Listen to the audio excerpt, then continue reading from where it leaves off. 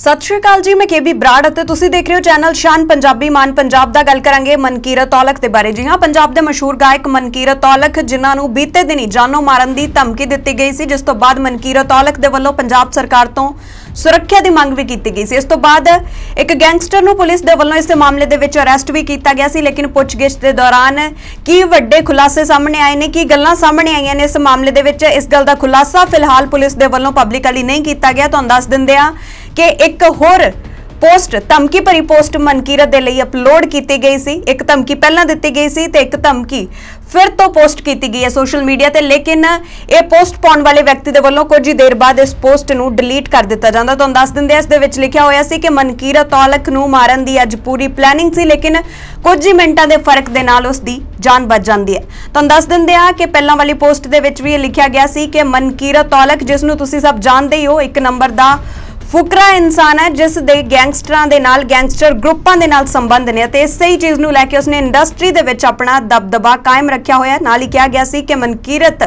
ਹਥਿਆਰਾਂ ਨੂੰ ਪ੍ਰਮੋਟ ਕਰਦਾ ਜਿਸ ਦੇ ਚੱਲਦੇ ਉਸ ਨੂੰ ਜਾਨੋਂ ਮਾਰਨ ਦੀ ਧਮਕੀ ਦਿੱਤੀ ਗਈ ਸੀ। ਤੁਹਾਨੂੰ ਦੱਸ ਦਿੰਦੇ ਇਹਨਾਂ ਧਮਕੀਆਂ ਤੋਂ ਬਾਅਦ ਲਗਾਤਾਰ ਮਨਕੀਰਤ ਔਲਖ ਦੇ ਵੱਲੋਂ ਵੀ ਪੰਜਾਬ ਸਰਕਾਰ ਤੋਂ ਆਪਣੀ ਸੁਰੱਖਿਆ ਵਧਾਏ ਜਾਣ ਦੀ ਮੰਗ ਕੀਤੀ ਜਾ ਰਹੀ ਹੈ। ਇਸ ਵੇਲੇ ਦੀ ਵੱਡੀ ਖਬਰ ਇਹ ਹੈ ਕਿ ਇੱਕ ਧਮਕੀ ਮਨਕੀਰਤ ਔਲਖ ਨੂੰ ਪਹਿਲਾਂ ਮਿਲੀ ਸੀ, ਲੇਕਿਨ ਇੱਕ ਵਾਰ ਫਿਰ ਤੋਂ ਗੈਂਗਸਟਰ ਗਰੁੱਪ ਦੇ ਵੱਲੋਂ ਮਨਕੀਰਤ ਔਲਖ ਨੂੰ ਜਾਨੋਂ ਮਾਰਨ ਦੀ ਧਮਕੀ ਦੇ ਦਿੱਤੀ ਗਈ ਹੈ।